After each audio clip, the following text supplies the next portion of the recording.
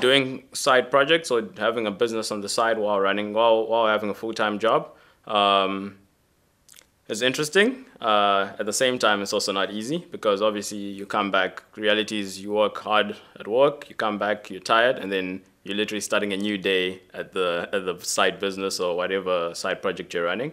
Um, so yeah, it's not, it's not for everyone, it's difficult. However, I highly recommend doing side projects.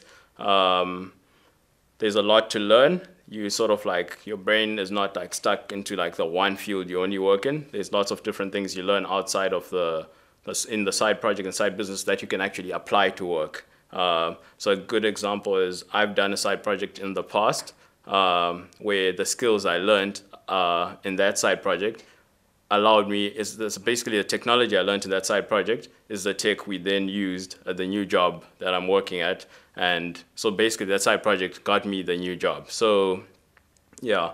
Um, yeah, and like you get to like meet a lot of different people and do interesting stuff. I mean, everyone has something that they do after work, uh, their hobby and stuff. So you can see running a side business as sort of like something you do after work and something that keeps you going, you know. Um, the one other, there's a big advantage to also doing it is that um, bootstrapping, if you're not working, means you have to figure out how to put food on the table or how are you going to get your money, right? So either your business has to be making a profit, which is paying yourself already, or what you can do is see it from the other side where if you're bootstrapping while you're working, your job is your source of capital. So it'll keep you going. You've got time to build your business properly.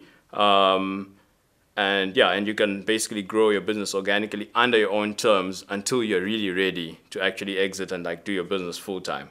So that's one of the big advantages is that your income stream and your job, you can see your job as your source of capital and a place where you can also learn skills that you eventually apply when your business scales and you are running it full time.